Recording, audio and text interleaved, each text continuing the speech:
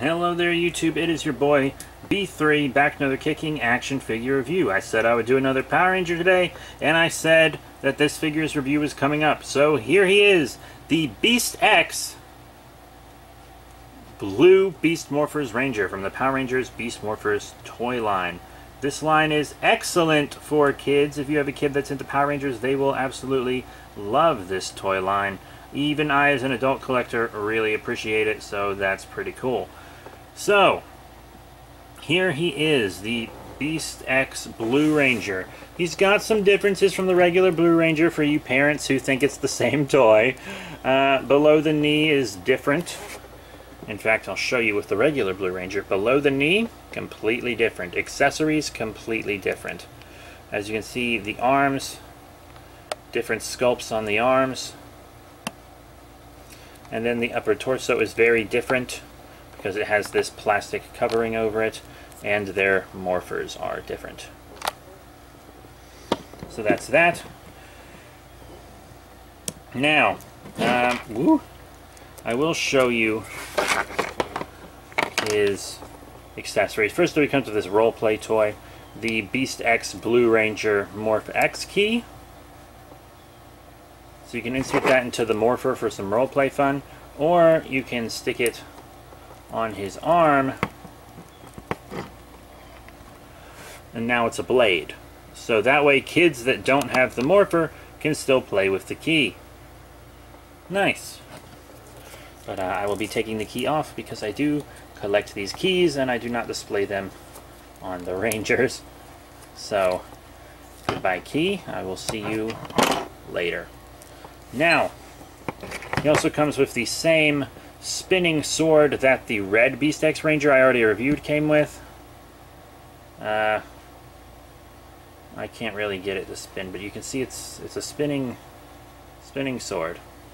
I think it's actually really cool. I displayed the Red Ranger with it, but I'm actually going to display this guy with this big blaster. Uh, this also comes with the Yellow Ranger, but she comes with a slightly different sword as well. It's pretty cool. This was not in the Sentai. Neither was the sword. But I mean, this stuff, you try to put it in their hands, see how well that goes. It's thick, but it does fit eventually. Bada bing, bada boom. Hey, you looking for some trouble? You think you're gonna find mercy here? You're wrong, robot. yeah, but that's him with the gun. Looks pretty cool. Or blaster, I should say. They're blasters.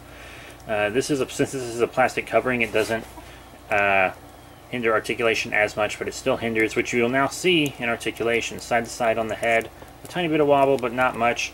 In and out on the arms, forward and back, which is like that. Elbow bend, elbow rotation. In and out on the legs, forward on the legs, no real back in on the knees, rotation, that's all. That's all the articulation. I think that's plenty for kids though, and a $10 toy. Bandai used to give us a lot less with their Rangers for 10 bucks.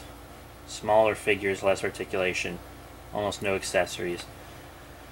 Yeah, so detail and paint, the head looks great. Uh, it's really not a bad figure at all. It's got enough paint for a $10 figure. As you saw earlier, the first one had a fully painted morpher, but this time they just painted that bit, since that's the new part. He's a very cool looking figure. Um, I'm happy to have him in my collection. So now let's get to everybody's favorite part. Size comparisons. So for our first size comparison, we're going to compare him with his own line. Here he is with some blue boys. The Drilltron. And since it's what I have laying around, the Beast Morphers Blue Ranger, so you can really see all the differences there. Like this guy doesn't have a lot of the silver, this guy does, etc. Because it had to go into other aspects. Still, pretty cool. Let's remove them from the picture. Show him with some larger figures. Here he is with the Legacy Armored Red Ranger and the Sentai Hero Series Zyuoh Whale. They dwarf him. They're not going to go together at all. Remove. And then lastly, with the adult collectible line, the Power Rangers Lightning Collection. Here he is with SPD Red. And here he is with the Ranger Slayer. And you know what? I actually don't think these two lines look bad together at all. I think they look pretty cool. So let's remove them and move on to our final thoughts. So what are my final thoughts on the Beast X Blue Ranger? Well, I think he's just as good as the Beast X Red Ranger. I really do, you know. He's got all the articulation, detail, paint, and accessories that I would require from a $10 children's toy. Remember, you can't judge him from an adult collector uh, point of view. You have to judge him from a child's toy point of view, which is what I'm attempting to do here. This review is not for children, but it is for parents who might want to get figures for their children. Uh, this is definitely one that your kids will like. Uh, and you know, I think they'll have a lot of fun with it, just like I had fun with Power Ranger Kids, with Power Ranger toys when I was a kid, and I still do now. So that's it. Thank you all once again for your support. Remember to rate, comment, and subscribe. Check out all the cool links in the description below Facebook, Twitter, etc. And next time, we'll probably have a kaiju for you, so that'll be fun.